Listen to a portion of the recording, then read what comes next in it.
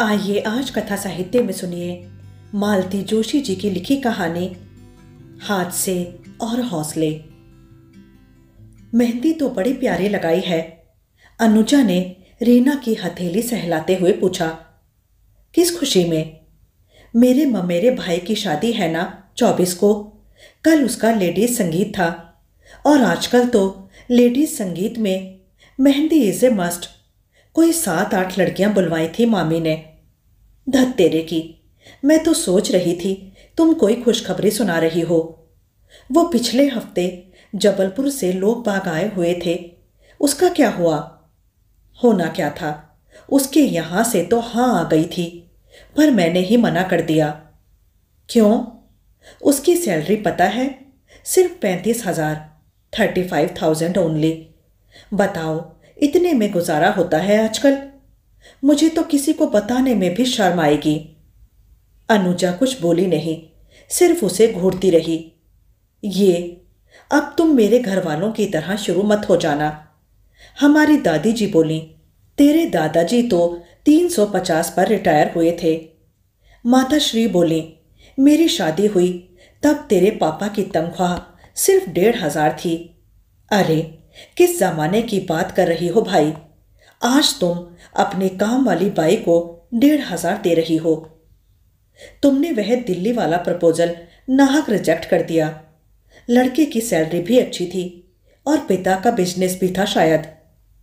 तुम्हें बताया तो था तीन तीन अनब्याही बहनें थीं। उनको निपटाते निपटाते ही आधी ज़िंदगी गुजर जाती, अपनी लाइफ कब एंजॉय करते। और फिर सिर्फ़ शादी पर ही तो सब कुछ समाप्त नहीं हो जाता। ज़िंदगी भर करना पड़ता है। तुम तो कोई इकलौता बंदा ढूंढ लो। वो भी देख चुकी हूँ। नासिक का प्रपोजल था। लड़का इकलौता था, पर घर एकदम बाबा आदम के जमाने का। रेनोवेट करवाएँगे, तब भी कोई फ़र्क नहीं पड़ेगा। इकलौते चिराग हैं तो अलग रहने का सवाल ही नहीं उठता। रीना, आजकल तुम्हारी बड़ी फ़िक्र होने लगी है। क्यों? ये जबलपुर वाला कितने नंबर का था? सोलवा। क्या? मुझे डर लग रहा है। हालत कहीं कविता मैडम जैसी ना हो जाए। ये दोस्त होकर ऐसी बदुआ तो मत दो, कहते हुए रीना उठ खड़ी हुई। कुर्सी सरकाते हुए जैसे ही उसने इधर उधर नज़र दौड़ाई, उसे जैसे लकवा मार गया। कविता मैडम ठीक बगल वाली मेज पर बैठी थी। वे कब आई, उन्हें पता ही नहीं चला। दोनों ने उन्हें साथ ही देखा और उनके पसीने छूट गए। हेलो, कविता मैडम ने अपने हमेशा वाले अंदाज में विश किया। बाहर की राह ली। कैंटीन का कांच वाला दरवाज़ा ठेलकर वे बाहर आईं और कुछ क्षण खड़े रहकर खुलकर सांस ली। दिल दोनों के बुरी तरह धड़क रहे थे। उन्होंने सुन लिया होगा क्या? कितना सुना होगा? कम से कम बदुआ वाली बात तो ज़रूर ही सुनी होगी। तुम्हें उनका नाम लेने की क्या ज़रूरत थी? मैंने तो सिर्फ़ तुम्हें वार्न करना चाहा था। इसीलिए उनका उदाहरण दे डाला। अनुजा ने रुआ से स्वर में कहा, ठीक है ठीक है, अब आगे से ध्यान रखना। No personal talk in canteen Reena दिन भर परेशान रही। कविता मैम, उसकी इमीडिएट बॉस नहीं थी, पर सीनियर तो थी। उन्हें नाराज़ करना किसी भी तरह हितकारी नहीं था। अनुजा पर गुस्सा आ रहा था, पर उसने भी एक वेल विशर की तरह उसे समझाना चाहा था। वो इस तरह रिश्ते नकारती चली गई तो एक दिन सचमुच उम्र के उस पड़ाव पर पहुँच जाएगी, जहाँ गलत सलत समझौते करने पड़ेंगे। उसने तो पहले रिश्ते पर ही हाँ कर दी थी। स्वप्न जीवी उम्र थी वह, पर तब घर वाले बिफर गए थे।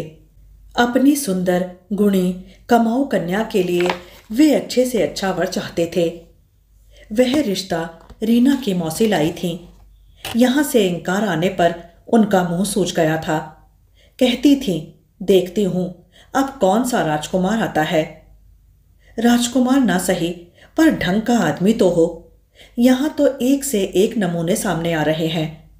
सैलरी का सवाल भी आजकल अहम हो गया है। पर्सनैलिटी भी तो कुछ मायने रखती है। हर किसी लल्लू पंजू के गले में तो जयमाला नहीं डाल सकती ना। कल को फिर यही लोग कहेंगे कि ऐसा ही करना था तो वो अमुक तमुक क्या बुरा था। पहले तो इन्हीं लोगों ने सपनों को हवा दी है और अब यही लोग परेशान हो रहे हैं। फिर कई बार ऐसा भी हुआ है कि जो लड़का उसे पसंद आ गया उसी ने रिजेक्ट कर दिया। फिर कई कई दिन तक वो अवसाद से उबर नहीं पाती है। पंडित, पुरोहित, मित्र, परिजन मैरिज ब्यूरोस सब जुटे हुए हैं। पर बात बन ही नहीं रही है। तो वो क्या करे? ऐसे में अनुजा ने कविता मैम का उदाहरण देकर उसे तो एकदम हताशा के गर्त में ही ढकेल दिया था। कविता मैम की शादी बहुत बड़ी उम्र में हुई है। वह भी एक रिटायर्ड फौजी से, जिसकी एक टांग नकली है। अगले कई दिनों तक वो कविता मैम के सामने पढ़ने से कतराती रही, पर एक दिन उनके सामने जाना ही पड़ा। अकेली नहीं थी वो सेक्शन के सारे लोग उसके साथ थे। उस दिन सबको अपनी मेज पर एक खूबसूरत कार्ड मिला था। कविता मैम की शादी की पांचवी वर्षगांठ का निमंत्रण था। बधाई देना तो ज़रूरी था। सब लोग दल बांधकर उनके केबिन में पहुँचे थे। वे हंसकर बोली, शादी की सालगिरह का तो बहाना है। दरअसल, घर को रेनोवेट किया है। उसी की पार्टी है। मैम, इससे तो अच्छा था, आप नया घर ले लेती। पुराने वाले को रेनोवेट करवाने में मेहनत भी ज़्यादा लगती है, और पैसा भी। फिर भी पुराना लुक तो जाता ही नहीं है, अलका ने कहा। मेरी भी यही इच्छा थी, पर क्या करूँ? मैं घर को छोड़ना चाहती हूँ, पर वो मुझे नहीं छोड़ता। मतलब? वे हंस दी अपनी स्वच्छ निर्मल हँसी। बोली, शादी के बाद मैं अपने फ्लैट में रहने चली गई थी। मुश्किल से दो साल रह पाई थी कि माँ गुजर गई। पापा के लिए घर लौटना ही पड़ा। फिर पापा चले गए। अमेरिका वासी दोनों भाई उस मौके पर आए थे। बोले, हमें तो अब वापस लौटना नहीं है। यह घर आज से तुम्हारा हुआ। चाहे बेचो, चाहे रख लो, तुम्हारी मर्ज़ी। तो इसे माँ बाप का आशीर्वाद समझकर मैंने रख लिया। मैम, कुछ मदद करवानी हो तो कहिएगा। हम लोग जल्दी पहुँच जाएँगे। यूँ तो हर चीज़ का कांटेक्ट दिया जा चुका है। पर आओगी तो अच्छा लगेगा। बाद में सबने अलका को खूब आड़े हाथों लिया। इतना लल्लो चप्पो करने की क्या ज़रूरत थी? कटसी है भाई, मेरी बॉस है वो, और उसी मोहल्ले में रहती हूँ मैं।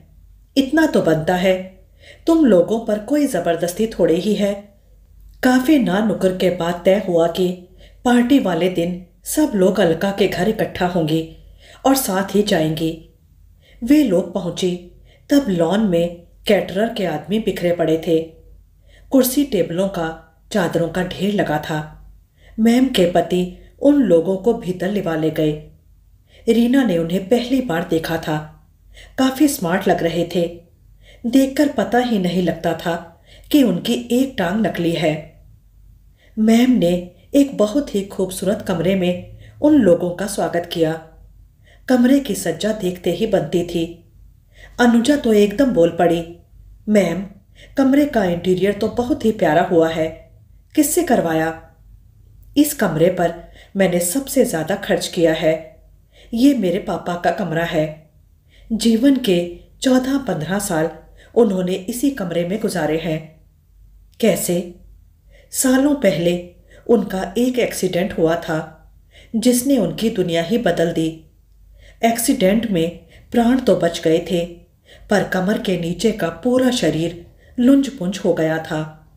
उनकी दुनिया इसी कमरे में सिमट कर रह गई थी। उस एक्सीडेंट ने उनका ही नहीं, हमारा भी जीवन बदल दिया था। पढ़ाई छोड़कर मुझे नौकरी करनी पड़ी थी, क्योंकि घर में कमाने वाला कोई नहीं था। भाई लोग पढ़ रहे थे, वे लोग अब कहाँ हैं? उस दिन बताया था ना यूएसए में बड़ा वाला इंजीनियर बना तो हमें कुछ आस जगी थी, पर वो बाहर जाने की फिराक में था। एक दो साल यहाँ नौकरी की और अमेरिका चला गया। सिर्फ़ शादी के लिए एक बार आया था और दूसरी बार पापा की मृत्यु पर। छोटा भी उसी की राह पर चला। उसने तो शादी भी वहीं की। बस पापा के मरने पर आया था। शायद इसीलिए मैम, आपकी शादी बहुत लेट हुई ना? शिल्पी ने डरते डरते पूछा। हाँ ऐसा ही समझ लो। पापा का एक्सीडेंट ना हुआ होता। तो आज हम शादी की अठारहवीं या बीसवीं सालगिरह मनाते होते। मतलब आप सर को पहले से जानती थी? अनुजा ने पूछा।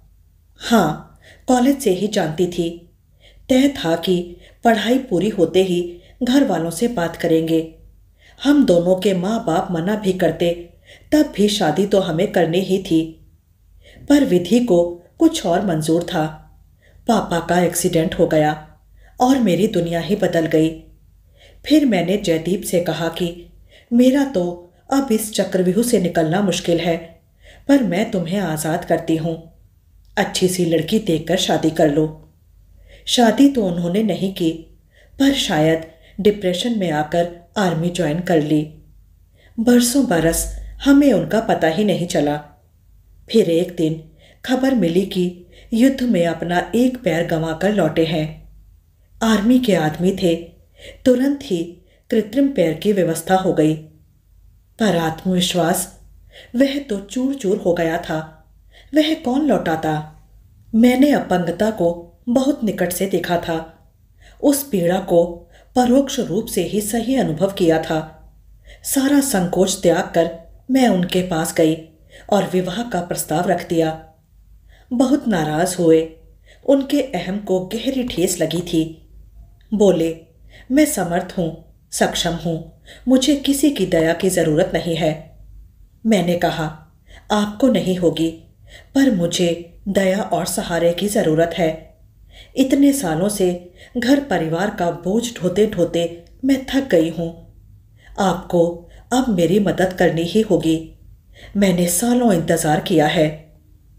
बड़ी मुश्किल से उन्हें राज़ी किया जा सका। बिना किसी टीम टाम के हमारी शादी हो गई। मैं उनके नन्हे से फ्लैट में आ गई। वे मेरी ज़िंदगी के सबसे खूबसूरत दिन थे। पर अच्छी चीज़ें ज़्यादा दिन तक नहीं रहती ना। वैसा ही हुआ। सालों साल पापा की सेवा करते करते माँ थक गई थी। बेटों के विदेश में बस जाने से टूट भी गई थी। वे भीतर ही भीतर कितना छींच गई थी। इसका पता तब चला जब वे एक दिन सोई तो उठे ही नहीं। बेमन से ही सही, घर लौटना पड़ा। पापा को फ्लैट में ले जाना नामुमकिन था। जयदीप बड़ी मुश्किल से यहाँ रहने को तैयार हुए।